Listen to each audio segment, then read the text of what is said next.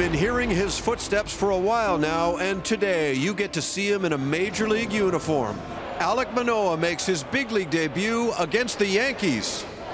It kind of jumps out at you that he's only made nine appearances, 35 innings in a minor league baseball.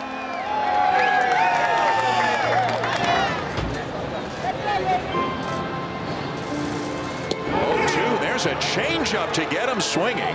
Nasty stuff as Manoah strikes out Odor. Well, it's a great matchup, isn't it? Here's the 3-2, and he got him. Look at that swing, and Manoah strikes out Judge. The expectation, the hype, everything was so high for Alek Manoah coming into his major league debut. As high as the expectations were, he probably exceeded them. Seeing the outpour of true genuineness. You just didn't know that support was there. That's why I was screaming, you know, I love you. I, you know, I wanted him to know that I was there like I was when he was little. The MLB debut humbled me. So it, it, it really just, it softened me up as a father and said, wow, God is so good. I'm just grateful that every time God opened the door, I was ready for it. Every chapter in Alek Manoah's life carries valuable lessons which guide him on the baseball diamond and in his personal life. Today, I sit here living my dream uh, that I've dreamt since I was two years old. Every little thing that's happened in my life, I'm grateful for. And I truly believe it's created me to be strong, it's created me to be competitive, it's created me to be resilient. Um, it's created me to have that strength, that mental strength, uh, to be able to deal with adversity, to be able to overcome adversity. We came from nothing, and now he has everything. We're the type of people that once you're given that opportunity, there's no looking back. So, you know, he has a taste for that life. He has a taste for what he's doing now. He's only going to get better.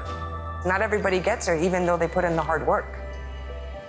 So he has to have that angel over him. What's wrong? What do you need? Nothing. You want me to throw with you? Yeah?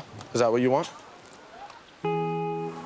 While he can appear unconventional and combustible between the lines, the softer side of Manoah is evident in the relationships that are most important to him. I think he has like the biggest heart I've ever met in someone. Um, he just like cares so much. Alek has his teammates back, definitely. Uh, it doesn't matter if it's a guy who he has pitched with for five years or somebody who walks into the clubhouse today. He is automatically someone who says, You are my guy. Whatever happens, I'm with you on that field. If there is ever a, a bench clearer, dugouts clearing, I want Alek Manoah on my side, not just because he's the biggest dude in the league, but because he cares. Hey, let's go, everybody in right field. Run, let's go. Manoah! Manoah!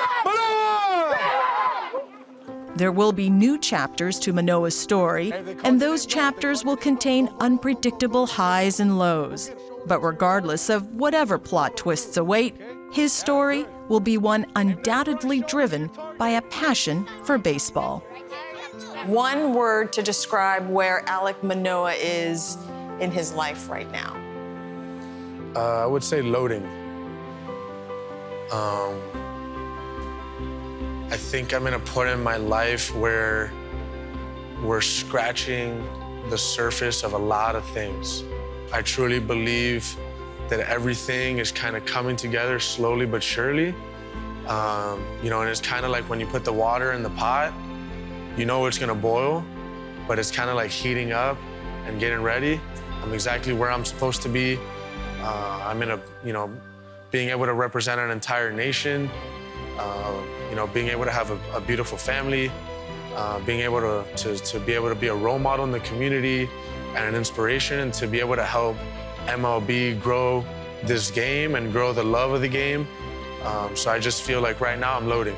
Like everything is kind of just coming together and it's just going to continue to grow. The one-two, swing and a miss. Manoah will cap off the first frame of the season with a punch-out.